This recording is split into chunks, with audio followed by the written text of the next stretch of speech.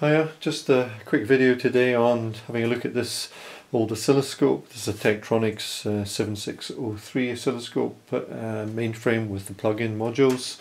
Uh, the nice thing about this particular one is it's got a very large display and a good bright display as well. Uh, although these are, this is from the 1970s, it's uh, obsolete technology. Uh, it's the old CRT oscilloscope and these days the handheld oscilloscopes like this are, are equally as good, if not many times better in functions. But there's still something nice about these. They were really well made, and I doubt that in you know uh, what's that 40 years time this would be as useful as this is. It's, uh, it's been unused for quite a long time, and uh, I'm trying to get it to work again. Um, so generally, because these things have tantalum capacitors in them, uh, I tend to try and start them up slowly on a Variac for the first time if not been used a long time, particularly when this kind of vintage. And we can unplug the uh, two modules for the amplifiers and the time base. So with these out and no and the power on, there's no no light uh, comes on, so they seem to be pretty dead. Although I can hear the um, transformer does run, so we'll investigate a bit further.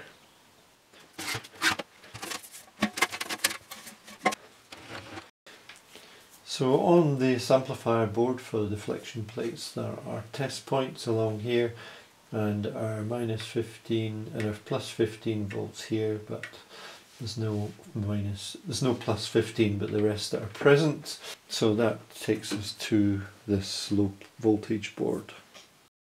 So no 15 volts on this uh, from this supply it's been tracked down to this transistor here.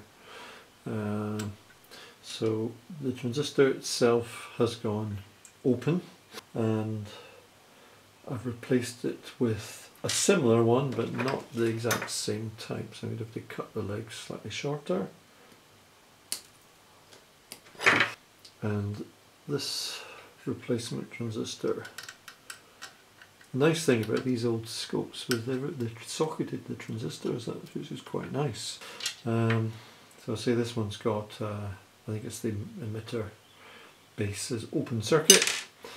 This isn't exactly the same thing, but it does does the job. So now I've got 15 volts here, but there's a 5 volts as well derived from the 15 volt supply, which isn't present and is pulled down. You can disconnect the uh, supplies where they go out onto the board so you can check for the voltage of something. So something's pulling the 5 volts down.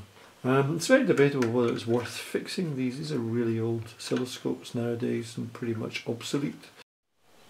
So the other nice thing about these oscilloscopes is being Tektronix there's plenty online so it's very helpful to find the uh, data online and also all the uh, circuit diagrams are online as well so that makes repair a great deal easier.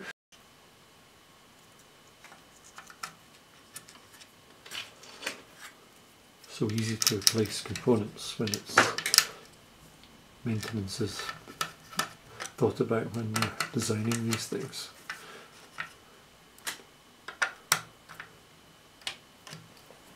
We have now got a situation where we weren't getting 5 volts. Uh, weren't getting 5 volts supply. Something was pulling it down but what happens to be now? On we've now got control of these lights and the 5 volts appeared back. With the 5 volts back on this rail. So the these lights must have been shorting something to pulling the 5 volt supply down. So there we have it. It seems to work fine. This is quite a nice scope with the uh, dual trace, but it's got the uh, values also displayed on the screens. This Tek scope uh, had a really large display screen and it's got a really bright display which is quite nice uh, although it's quite an old vintage um, uh, now it's working, really haven't a clue what to do with it. Um, okay, thanks for watching.